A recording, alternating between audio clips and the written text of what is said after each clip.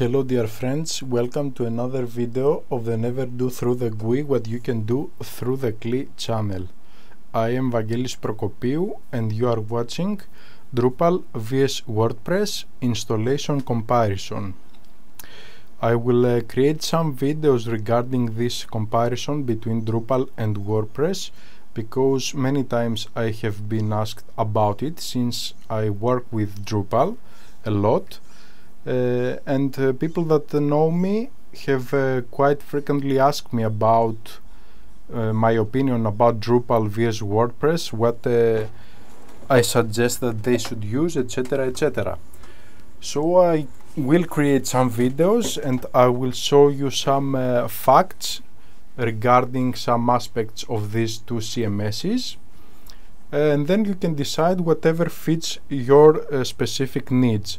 Of course, I am a little bit biased in favor of Drupal because I work with Drupal a lot, but I will try to keep these videos uh, as unbiased as possible and just show you the raw data regarding these aspects that I'm going to touch upon. So, today this video is about uh, comparing the installation procedure between Drupal and WordPress and see how that goes. So let's start, start our video.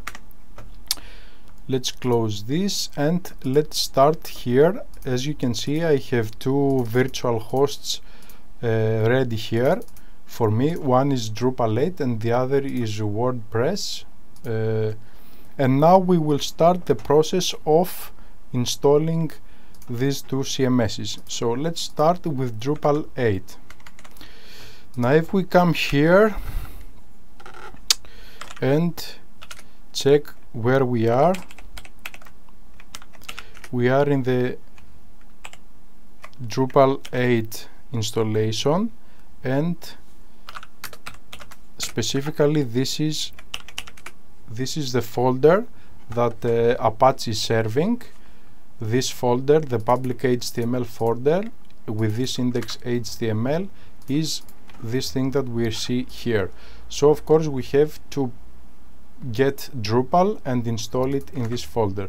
So we will come here. We will go a directory up.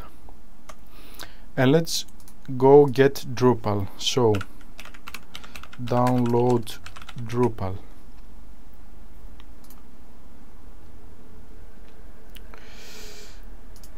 Right click copy link address and let's w get this thing.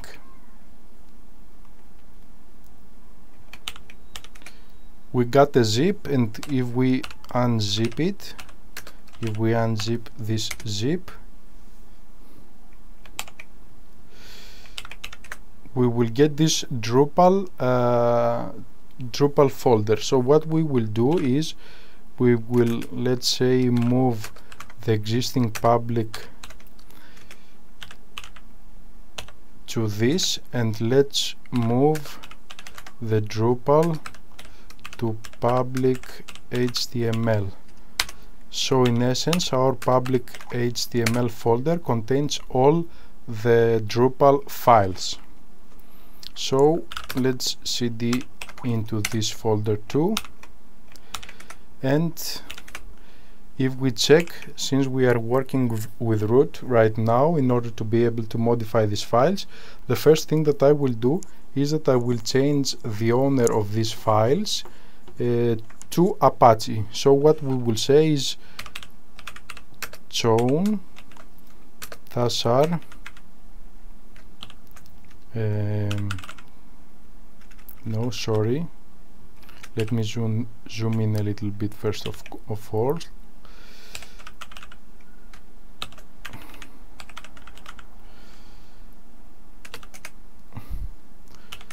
Now if you see we just changed all the files to www data the Apache user. So let's go to our browser here and let's refresh.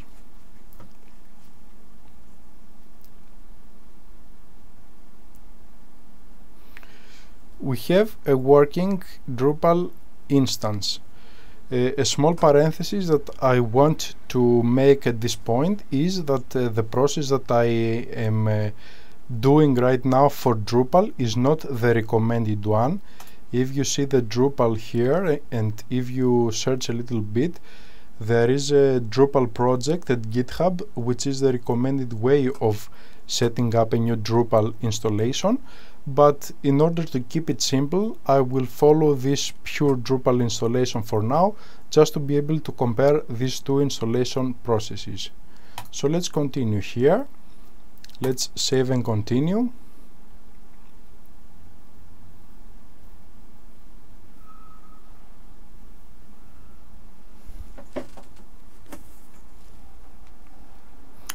we will uh, choose the standard installation profile.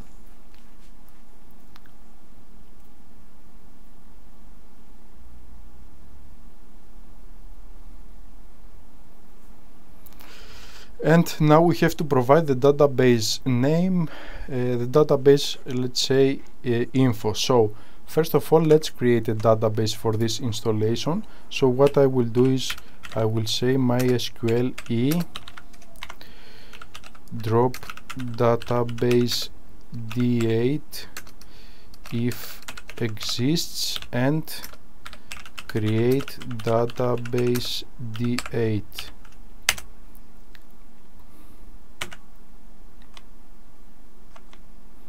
not if exists here but here. If exists. Okay we created a database so we can come here and say that we want the D8 database and the user is root in this specific instance for me since this is a development environment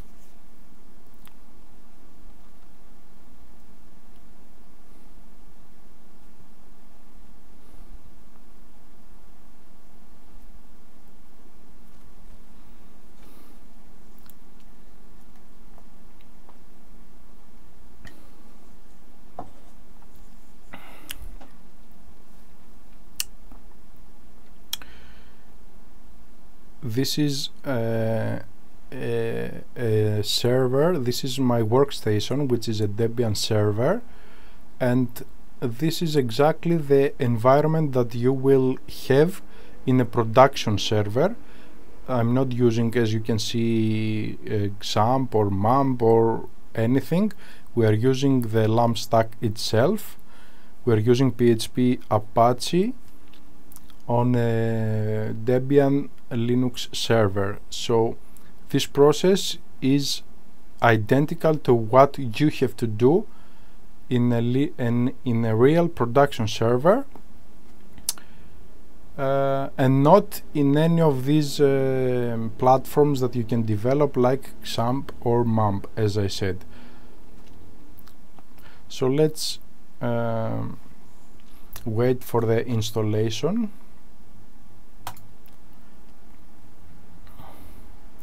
Of course I will link another video where I have a completely automated installation of Drupal since I work with Drupal predominantly. I have automated all this process. I don't have to do anything manually but in order to show the comparison in this video uh, of course I go the manual way how would uh, a regular user set up a Drupal installation for the first time. And th we will do the same exact thing for WordPress.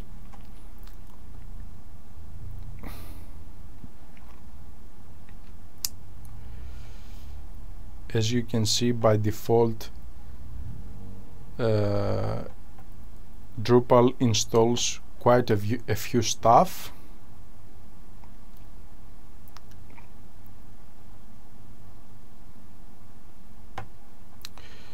I will not edit the video for those that, uh, that want to check out the whole process.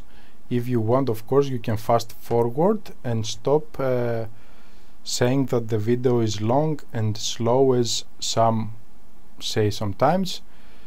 if you want to see the, the whole process you can see the whole process if you don't you can fast forward the video it's too easy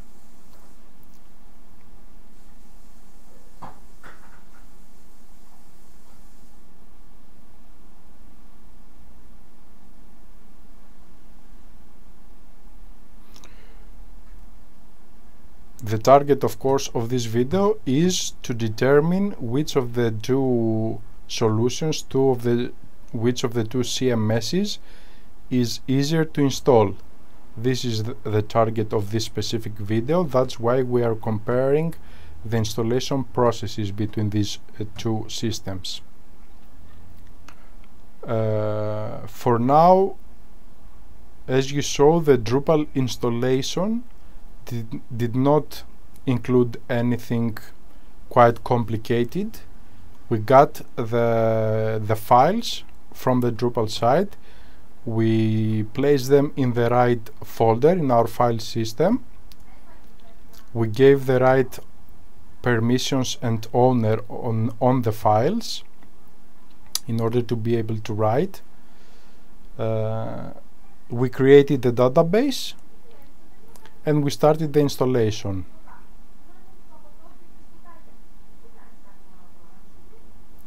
So I would say that so far so good, it, it seems quite easy as an installation process.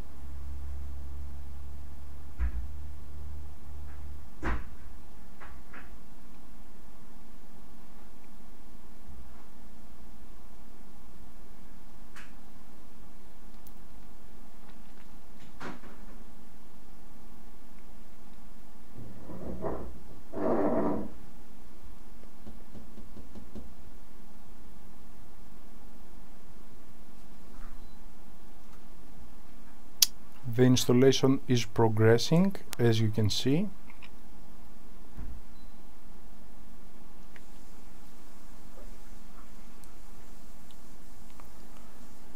We are one step before concluding the installation. We are currently installing according to this uh, information here. And the last step will be to configure our newly installed site so let's wait for a little bit longer in order for the installation to complete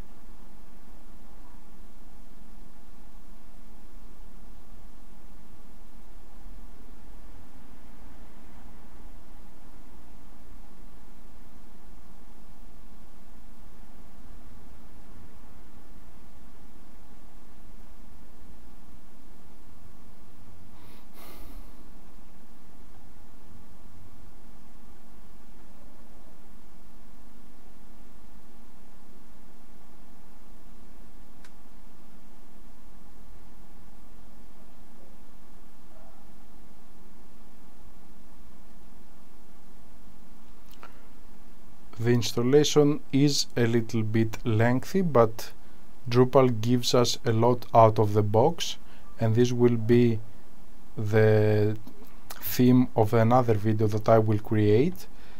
Uh, and that is why the installation is a little bit lengthy as I said. And as we can see we just finished installing and now we have to configure the site so we, will say that this is a Drupal site. Site email address. Let's add my address for now. Let's add an admin user.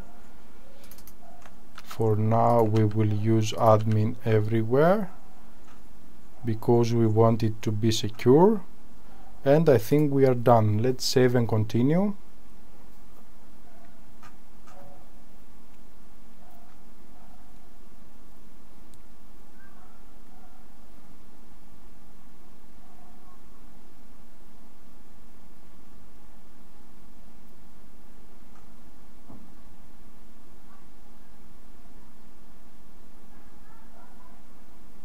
And we are ready. We just installed the Drupal site and it's ready to go. So that was the Drupal installation. It took us about some mm, something more than 10 minutes 12 minutes something like that. Okay let's now initiate the WordPress installation. Let's change our directory. And let's cd into our WordPress installation I have it already downloaded. This is the WordPress but we will remove it and we will reinitiate uh, the process. So we will go here and we will say that now we want to download WordPress. We will come here we will uh, copy the link address and now we will wget WordPress.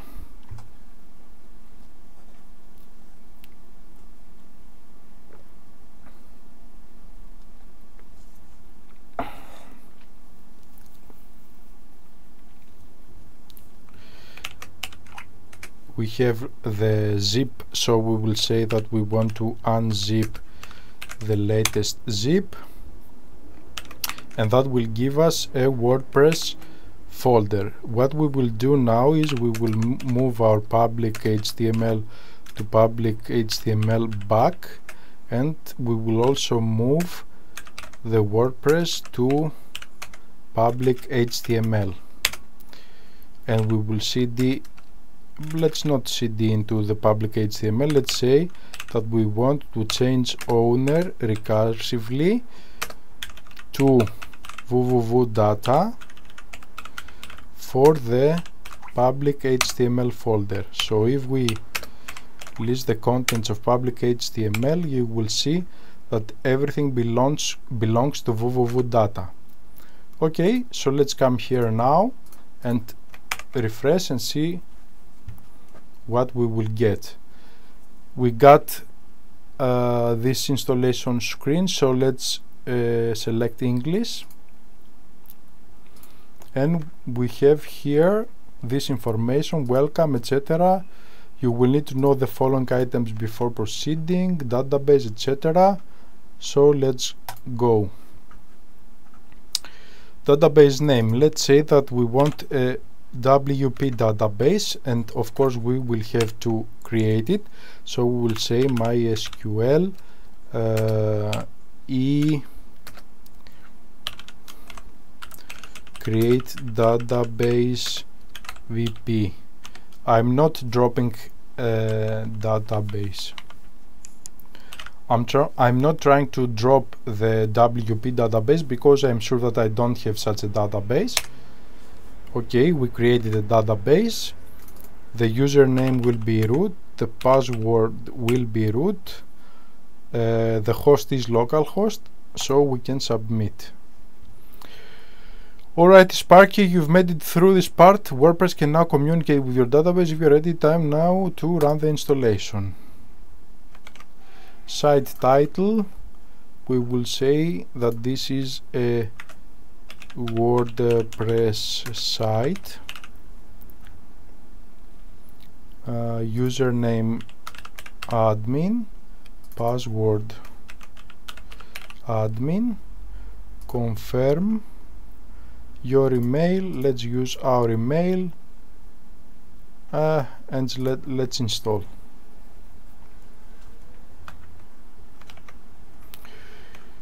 WordPress has been installed thank you and enjoy. Username admin password your chosen password login we want let's duplicate this. We will not log in. We will see the site for now. Okay this is the WordPress site. And now let's try to log in. Let's say admin admin. And we are in. Okay we successfully installed WordPress 2 we this took us about five minutes uh, so to come back to the target of this video which was uh, comparing the two installation processes. Uh, the only difference that I can see between these two processes is the time that it is needed for the installation process of Drupal compared to the installation process of WordPress. Drupal needs more time to install than WordPress. Apart from that, the installation process was quite the same. We had to provide uh, the database credentials uh, and that was all and configure the site. So the installation process, I repeat, is the same is quite similar with the only difference is that Drupal needs more time to install since it provides more, uh, more stuff out of the box. Well, this was the info that I wanted to share with you in this video. If you enjoyed this video, you can hit the like button and you can share your thoughts on it in the comments. Moreover, if you like the content of this channel, you can subscribe by clicking the penguin that you see on your screen. Thank you for watching and have a great day.